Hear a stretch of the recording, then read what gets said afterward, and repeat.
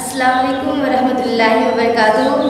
प्यारे बच्चों, हमने अपनी क्लास में अब तक ए बी और सी तक के ही लेटर सीखे हैं। आज हम अपनी क्लास में सी के बाद का लेटर सीखेंगे।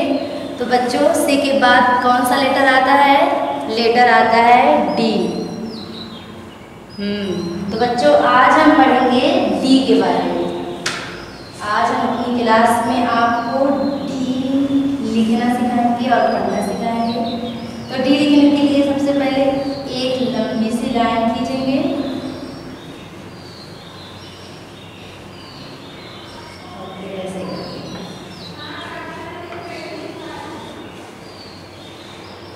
कैसे बच्चों? ऐसे। कि हमें क्या करना है? एक लाइन सीधी ऊपर से नीचे और फिर ऊपर से एक गोल सा ऐसे बनाते हुए नीचे लाकर मिला देंगे। तो ये क्या बन जाएगा बच्चों? डी बिल्कुल सही, एक बार फिर देख लें। ऐसे करना है।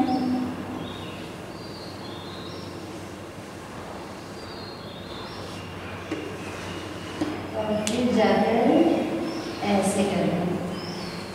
तो ये हो जाएगा बच्चों, हमारी किताब में भी दिया गया है डी लिखने का तरीका। एरो से बताया गया है किस तरह से लिखना है, कब ऊपर नीचे लाइंस लानी है। तो हमने आपको लिखकर भी बता दिया है कि एक सीधी लाइन ऊपर से नीचे खींचे उसके बाद एक गोल सा मिला दें तो ये हो जाएगा डी और डी फॉर क्या होता है? डी फॉर डोर डोर तो सबके घर में है दरवाजे।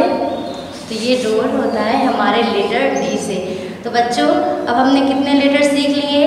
हमारे साथ पढ़े आप लोग भी। ए बी सी एंड आज हमने पढ़ा लेटर डी ठीक है बच्चों? एक बार फिर देख लें किस तरह इसे लिखा जाता है। एक सीधी लाइन ऐसे। फिर एक गोल सा बनाते हुए लाकर नीचे तक मिला देंगे। तो ये हो जाएगा हमारा लेटर डी ठीक है बच्चों, आप लोग लिखना सीखें और घर पर पढ़ें भी।